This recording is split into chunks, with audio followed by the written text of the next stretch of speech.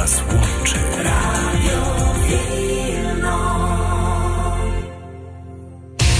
Rozmowa dnia. Dzień dobry, w studiu Radia Wilno Paweł Kobak.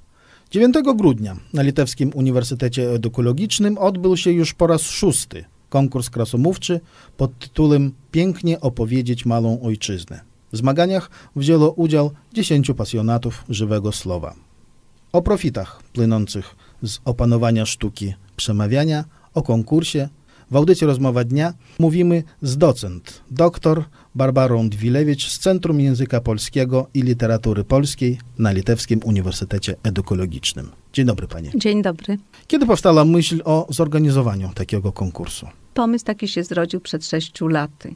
I celem konkursu krasomowczego było i jest zwrócenie uwagi społeczności polskiej na Litwie na potrzebę pielęgnowania języka ojczystego, także na doskonalenie umiejętności logicznego, sugestywnego mówienia, a także kształtowania szacunku do małych ojczyzn. I dlatego też nazwa pięknie opowiedzieć małą ojczyznę. Uznaliśmy, że na Litwie owszem mamy dużo różnych imprez, ale brakuje imprez poświęconych językowi. Konkurs Krasomówczy pięknie opowiedzieć małą ojczyznę już się wpisał do kalendarza wydarzeń kulturalnych społeczności polskiej na Litwie. To już w tym roku była szósta edycja tego konkursu. Budujące jest to, że w tym konkursie bierze udział młodzież i co świadczy o jej zainteresowaniach sztuką żywego słowa. Ale ten konkurs przede wszystkim organizowaliśmy z myślą o ludziach dorosłych, doświadczonych. I jak z tymi dorosłymi ludźmi, czy przychodzą na konkurs do was? Przychodzą, ale nie, niewiele jest takich odważnych, którzy potrafią no po pierwsze przygotować to przemówienie, a potem stanąć przed salą, wygłosić to przemówienie. Ale może nie widzą potrzeby, może uważają, że umieją dobrze mówić. Mnie się wydaje, że chyba zdają sobie sprawę z tego, że przygotować przemówienie i wystąpić z tym przemówieniem przed audytorium, to nie jest takie łatwe. Tak, ale spójrzmy na to z innej strony, bo żyjemy w świecie, w czasach, kiedy coś za coś. No dobrze, ale co mi to da, że ja nauczę się dobrze wysławiać, ładnie, atrakcyjnie? Umiejętność publicznego przemawiania jest sztuką, bo to się mówi sztuka krasomówstwa, tak? Ale można poznać tajniki tej sztuki i można się tego też nauczyć. Bo nawet jest to takie znane łacińskie przysłowie, że poetą człowiek się rodzi, a mówcą się staje. Więc... No tak, ale, ale po co to mi potrzeba? Ja pracuję na dwóch pracach, jestem zamęczony, zabiegany, zziajany i co to mi da? Bo, bo żyjemy w czasach, pa, panie docent, no, no zgodzi się pani, czasach no, tak, no, ale... materialistycznych, no a co ja będę miał? No prostu satysfakcji oczywiście wewnętrznej, że ja ładnie No nie mówię. tylko pan będzie miał satysfakcję, ale pan nauczy się przekonywać innych co do słuszności swoich sądów. Na przykład pracodawcę o Tak, potrzebie może podwyżki. pan prosić tak o podwyżkę Aha. i pan przytoczy takie argumenty, które rzeczywiście przekonają pracodawcę i pan dostanie tą podwyżkę. Młody pracownik może przekonać pracodawcę, że jest najlepszym pracownikiem. Tak, kiedy, przy, kiedy przychodzi na rozmowę może kwalifikacyjną. Aha. więc może też umieć siebie zaprezentować. Więc oczywiście ja nie mówię, że on musi się przechwalać i y, podawać jakieś takie swoje cechy, których nie ma, ale może powiedzieć o sobie w sposób tak przekonywujący, że rzeczywiście ten pracodawca pomyśli, że ja bym chciał mieć takiego pracownika. No a dla każdego polityka to jest A sprawą o- tak. konieczną. A o politykach to już tutaj nie mamy chyba po co mówić, bo to już jest wiadomo, że osoby takie, które na co dzień muszą zabierać publicznie głos, więc muszą poznać e, tajniki tej sztuki przekonywania innych. Bo bardzo często, kiedy my chcemy do czegoś kogoś przekonać, to ważne są tutaj nie tylko argumenty, bo one muszą być, natomiast też sposób podania. W jaki w sposób jaki sposób ja to podam, tak? Że mogę to właśnie podać w taki sposób, że nie tylko przekażę treść, ale też przemówię do naszych uczuć. I to jest właśnie też bardzo ważne. I to mieliście na tym konkursie? Taki sposób występowali? Oczywiście na naszym konkursie chodziło przede wszystkim o przemówienia okolicznościowe, czyli był temat i trzeba było ten temat podać w sposób bardzo atrakcyjny. A jakie były wystąpienia? O czym? No więc treść dotyczyła Wileńszczyzny, bo to jest ta nasza mała ojczyzna. Więc niektórzy mówili o konkretnych postaciach, niektórzy mówili o miejscach. Różne były tematy. A jaki poziom był? Tematy różne, a poziom? Tegoroczny konkurs to był takim dla nas pięknym, wielkim y, zaskoczeniem, ale dobrym zaskoczeniem. Wiadomo, że każde przemówienie to trud polega w przygotowaniu jego nie tylko, że to mam napisać, ale tego przemówienia trzeba się też nauczyć na pamięć. Ta sama nazwa mówi przemówienie. Kiedy człowiek nie zerka do kartki, wtedy jest bardzo wiarygodny.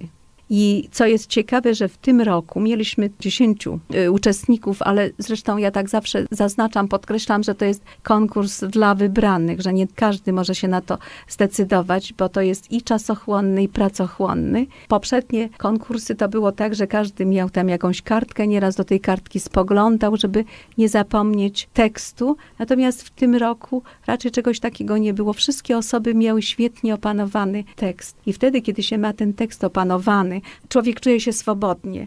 Wtedy może cały czas podtrzymywać kontakt ze słuchaczami, widzi ich reakcje. Czuje się swobodnie. Właśnie to opanowanie pamięciowe daje mówcy swobodę.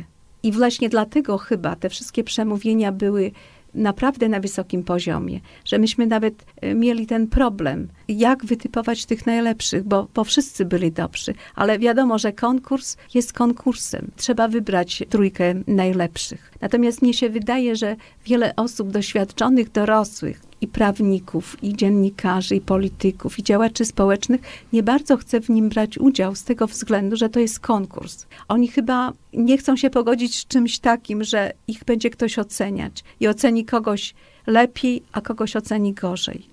Więc może dlatego to jest tak. Natomiast ja bym bardzo chciała, na ten konkurs jest y, wstęp wolny, każdy może przyjść i posłuchać. Więc ci na przykład, którzy z jakichś względów nie chcą albo boją się, albo uważają, że to nie jest dla nich, mogą po prostu przyjść i posłuchać jak inni mówią. Też dla wszystkich chętnych, tych, którzy biorą udział albo też udziału nie biorą, organizujemy warsztaty krasomówcze. No właśnie, chciałam się zapytać, przecież krasomówstwa nigdzie nie uczą. Nie nauczysz się tego ani na poziomie szkolnym, ani na poziomie uniwersyteckim.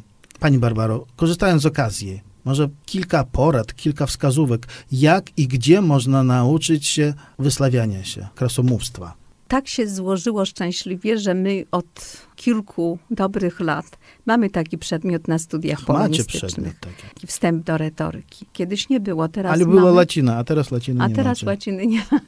Więc y, uczymy tego studentów, bo I w jaki sposób to wygląda? Bo to jest bardzo ciekawe. Przemówienie to... się rozpoczyna od tego, jak człowiek wychodzi, jak się wita z publicznością, jak staje przed salą bo tutaj jest bardzo ważne też, jak on się zachowuje, jak ma stać. Czy ma gestykulować, czy ma nie gestykulować, mm, jaka powinna być mimika. Czyli bardzo wielką uwagę podczas przemawiania się też zwraca na mowę ciała czyli tą zwaną komunikację niewerbalną. Trzeba starać się za dużo nie gestykulować, bo to też potem słuchacze już nie słuchają ciebie, tylko zwracają uwagę na twoje gesty no, trzeba też na tej scenie stać raczej w miarę spokojnie, nie chodzić, nie biegać, bo to też rozprasza uwagę. A czy tego nauczyć się może każdy człowiek? Czy to raczej dla człowieka skromnego to bez szans? Czy musi człowiek być bardziej zuchwały, pewny siebie? Oczywiście, że może się każdy nauczyć. Bo tak jak przysłowie tu łacińskie głosi, że poetą człowiek się rodzi, a mówcą człowiek się tak. staje, tak. tylko trzeba poznać te różne techniki. Więc y, potem już jak my wiemy, jak się mamy zachowywać, kiedy wychodzimy przed salę, że musimy mieć też kontakt ze słuchaczem, nasz wzrok musi się ślizgać po twarzach słuchaczy, nie można patrzeć do okna, nie można patrzeć do ściany, tak? Mówić konkretnie do ludzi, a potem oczywiście jest mm, bardzo mm, skomplikowany też proces, to jest ułożenie tego przemówienia. Więc tytuł musi być taki, żeby już zaintrygował słuchacza. Przecież też często jak czytamy gazety, no to jak czytamy gazety? Najpierw czytamy tytuły. Jeżeli nas ten tytuł zainteresuje, wtedy czytamy, co tam jest dalej napisane. Ale on też oczywiście musi przekazywać jakąś treść, żeby nie było tak, że ten tytuł jest powiedzmy bardzo ciekawy, zajmujący, ale nie wiadomo o czym będzie dalej mowa. Tytuł, no wszystko, potem kompozycja całego przemówienia, więc musi być wstęp. Ten wstęp już musi też zainteresować słuchacza. Potem jest ta część podstawowa, która jest bardzo ważna, bo tam wszystko podajemy, co jest najważniejsze. No i oczywiście trzeba też umieć zakończyć to. Ale napisaliśmy to przemówienie, to tylko jest cząstka pracy. Ten mówca to tak mniej więcej można jakieś paralele mieć z aktorem. Przecież on też chodzi na próby, wiele czasu poświęca. Natomiast jak on wypadnie i oceniamy go, mówimy, ten grał dobrze, a ten grał nie najlepiej, na podstawie tego, jak wystąpi wtedy, kiedy jest przedstawienie, jak go widzi widz. Więc tutaj też jest podobnie. Jeżeli nawet jest piękne przemówienie, pięknie ułożone, bogate, to jeszcze nie znaczy, że ono będzie bardzo dobrze przyjęte przez y, słuchacza, bo to jeszcze ważne są te umiejętności, mianowicie dobra dykcja. Tak? Trzeba zgodnie z normą ogólnopolską wymawiać wszystkie dźwięki. Trzeba panować nad głosem. Trzeba umieć modulować głos. Wyżej, niżej, głośniej, ciszej tempo trzeba albo zwiększać, albo zmniejszać w zależności od tego, o czym mówimy. Po drugie, ważne są bardzo akcenty logiczne, czyli musimy uwydatniać te wyrazy, które naszym zdaniem są bardzo ważne. Ale ważne są też pauzy. Jakieś mamy na przykład te pytania retoryczne, więc pauza jakaś, to ona w ogóle mobilizuje do tego, że wszyscy raptem jak gdyby budzimy się ze snu i słuchamy dalej. Natomiast takim wrogiem oczywiście każdego przemówienia to jest monotonia. Jeżeli ktoś mówi monotonnie, to oczywiście słuchacz od razu zasypia i już nie wnika w treść i już nie delektuje się tym pięknym słowem, chociaż ono może rzeczywiście być bardzo bogate i w sposób taki bardzo artystyczny ułożone. Natomiast jeżeli chodzi o uczestników konkursu, to tak już się stało, że trzy lata z rzędu i tutaj chciałabym podziękować Związkowi Polaków na Litwie za to, że takie warsztaty finansują, warsztaty krasomówcze, na których my właśnie uczymy wszystkich chętnych, Wszystkich którzy, chętnych. którzy do nas przyjdą. Niekoniecznie muszą być to uczestnicy konkursu, mogą przyjść osoby, których to interesuje, bo kiedy dajemy ogłoszenie o konkursie, to też dajemy ogłoszenie o warsztatach krasomówczych i na tych warsztatach uczymy ich w jaki sposób stanąć przed salą, jak się zachować, jak mówić. Robimy też różne ćwiczenia artykulacyjne, a oprócz tego bierzemy różne przemówienia i te przemówienia analizujemy. Więc to są nie tylko, powiedzmy, jakieś przemówienia znanych ludzi, Piłsudskiego czy innych, ale to są też przemówienia naszych ubiegłorocznych, wcześniejszych zwycięzców konkursu krasomówczego.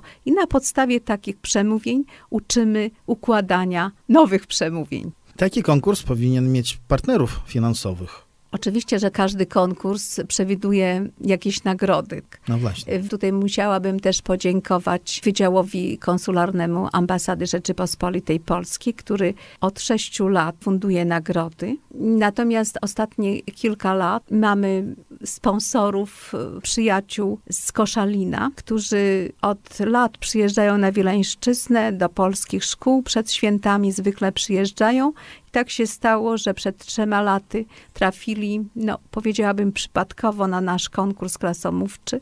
Oczywiście byli tym konkursem zafascynowani i już od trzech lat przyjeżdżają i też fundują nagrody dla zwycięzców. W tym roku uczestniczyło w konkursie 10 osób.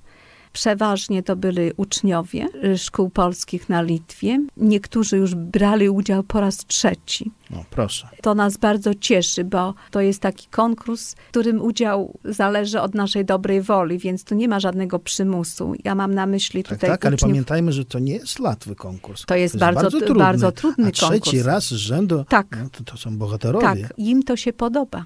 Im to się podoba i każdy konkurs to jest inne przemówienie. Jak już powiedziałam, że poziom był bardzo wysoki, więc uznaliśmy, że dwie osoby są godne pierwszego miejsca. Jedno z tych miejsc miała Agata Bruzgul, która miała przemówienie na temat uparty Litwin, twórcą niepodległej. Mówiła o Piłsudskim, ale mówiła w sposób rzeczywiście bardzo ciekawy, nietypowy, przedstawiła sylwetkę tej postaci. Natomiast też pierwsze miejsce miał Sebastian Salwiński, który już po raz trzeci bierze udział w tym konkursie. Temat jego przemówienia był Miejsca Mitry Miłość, więc mówił o takim życiu zakulisowym królów duchownych i znanych magnatów. To przemówienie też było niezmiernie ciekawe. To nie była sucha informacja, ale to była informacja ubrana tak bogate słownictwo.